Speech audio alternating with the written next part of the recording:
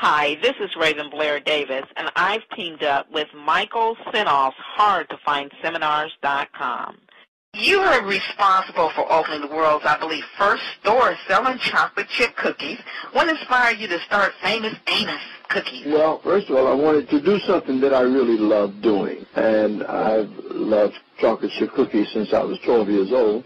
I've loved baking them since 1970. So I had been an agent and a personal manager in show business for a combination of about 14 years and got tired of doing that and wanted to do something else and didn't know what it was. But one evening, latter part of 1974, I was having dinner with a friend. Her name was B.J. Gilmore, and she'd been Quincy Jones' secretary. And we were good friends. My office was next to Quincy's at A&M Records. And somehow the conversation got around the cookies, and she said, you know, Wally, you and I should open a store selling chocolate chip cookies together.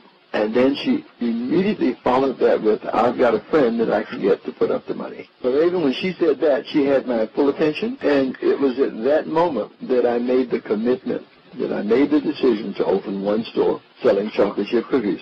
BJ never found her friend, but I found mine, and Helen Reddy and Marvin Gaye and Marty Mogul, and in five months, I was selling cookies because I was motivated, I was inspired, I was excited, I was enthusiastic. All of those things create wonderful results. And I was selling cookies. Well, you know, I caught what you said at first. You said you made the decision, and it all starts there, doesn't it? It does. And I think that even more powerful than making the decision, what comes as a package deal is making the commitment. Commitment is I will. It's not I hope or I guess or maybe I'll try. No, when you commit to do something, you say, I will do this regardless.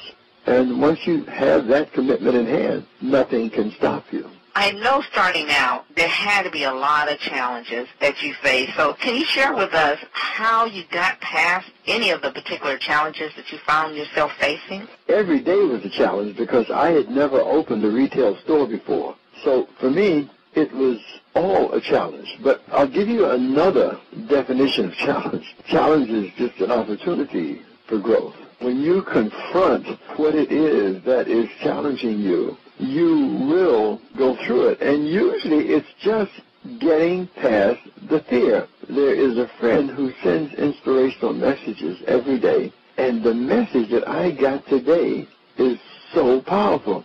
Can you share it? Yes, it was by, actually, Eleanor Roosevelt. This said, you gain strength, courage, and confidence by every experience by which you really stop to look fear in the face. The thing that stops most people is fear. They fear that they're not good enough. They fear that they don't know what they're doing. They fear that they can't do stuff. It's just one fear after another. When you confront that which you fear the most, you can't help but succeed because you do gain strength, courage, and confidence. But there's a great thing about fear also. The word actually says false evidence appearing real. What you fear doesn't exist. And if it does exist, it only exists in your mind, not in someone else's mind. So when you can grow beyond your fear, and know that you can do anything that you set your mind to, regardless of your lifestyle, regardless of your education, regardless of your experience. But you are capable of doing whatever you think of because if you couldn't do it, you never would have thought of it because everything starts with a thought. And thank God for me that I didn't totally understand that at the time, but I've always been a relatively positive person.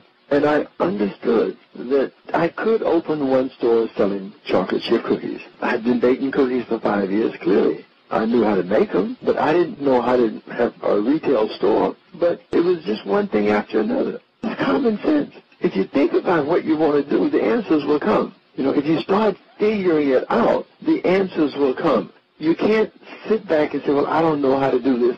And then there's the thing, if people start calling everybody, asking them. I get so many people ask me how to do stuff. I don't know. I mean, I didn't know how to open a retail store, but I figured it out. I am a high school dropout. So most of y'all listening have more education than I do. So whatever it is that you want to do, you have to start, you have to just go do it. And don't let the economy bother you. Don't let anything stop you. Be positive regardless and move forward with your idea. That's the key, man. That's all I've done. That's all I continue to do.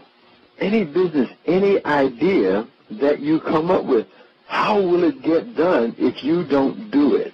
You're going to wait for somebody else to do it? You're going to wait for your husband, your wife, your mother, your friends? You're going to wait for somebody to tell you when is the best time to do it? You're going to look at your astrological chart and see when is it perfect? No! The best time to do anything is when you get the idea. That is the only time. When you get the idea, that's the time to do it. See, here's the thing people don't understand. Ideas do not come to you exclusively. Ideas are just permeating the universe. When you tune into an idea, you're not the only one. More than one person can tune in to ideas in the universe. So if you don't respond to them, someone else will. And then what will happen later when that idea becomes a reality in someone else's life? You'll say, that person stole my idea. You can't own ideas. If you don't respond to them, then someone else will. So that's why it's important to do it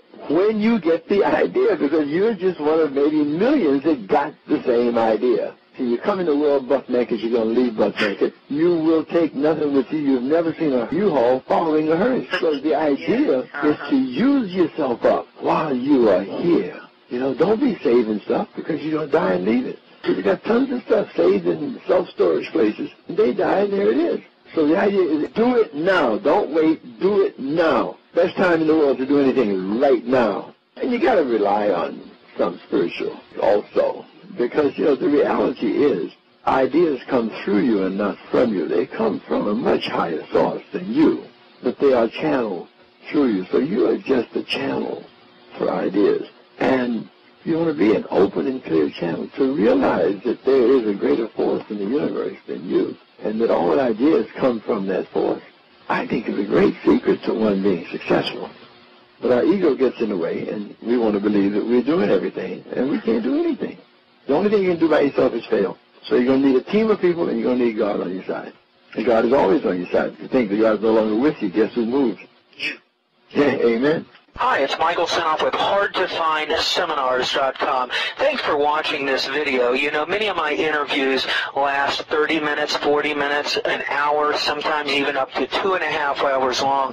They're actual mini seminars, and you've just listened to a short sample of just one of over 117 hours of exciting, hard-hitting, mind-blowing interviews on how to make money in direct mail, advertising, copywriting. I assure you, there is not a resource any anywhere on the internet or on the planet that comes close to the free information I provide at hardtofindseminars.com. So go right now to hardtofindseminars.com and you'll have free access to 117 hours of audio interviews with typed word for word downloadable transcripts and downloadable MP3 files. Please browse some more of the videos or go right directly to hardtofindseminars.com. Thanks for watching.